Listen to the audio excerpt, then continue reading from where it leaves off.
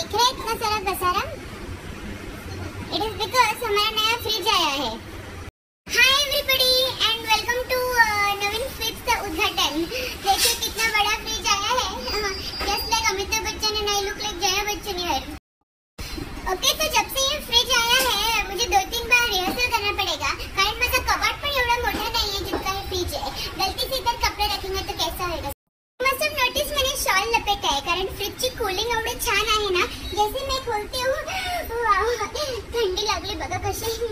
ना when you have a big fridge ना तो हमारे भी बड़े हो जाते हैं। फॉर एग्जांपल ये देखिए।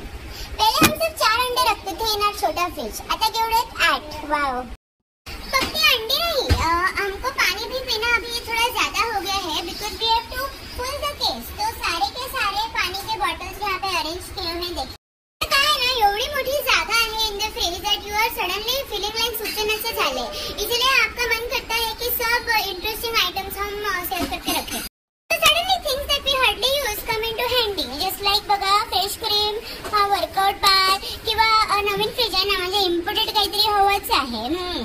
कैसे पुराने फ्रिज में ना, हम हमारे नींबू टमाटर कैसे फेंक के किधर भी रखते थे. But not in the new fridge because they have their own case and they are feeling very comfortable in it सब्ज़ी वाले से लाए हुए सब्ज़ी प्लास्टिक के साथ ही हम अंदर घुसे के रखते थे लेकिन in this new fridge you can see Ziploc bags have come जैसे पुराने फ्रिज में हम जब चटनी बनाते थे, स्टोर करके फ्रीजर में किसी भी डब्बे में रखते थे। But not any more see they are replaced from this डब्बा टू दिस आता वेळ आली आहे टू ओपन द उपरका फ्रीजर बघितलंय का किती छान असं पॅकेजिंग वगैरे सगळं करून ठेवलं आहे.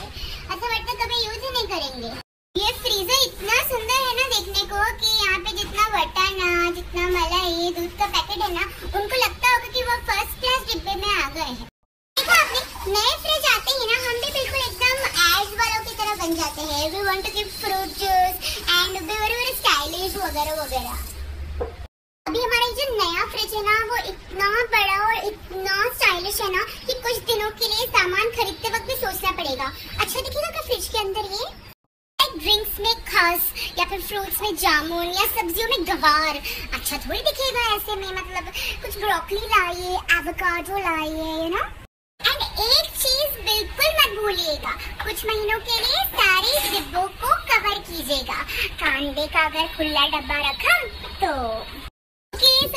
फ्रिज इज़ रेडी सुंदर दिसतंय वाव सो मच घरी हा।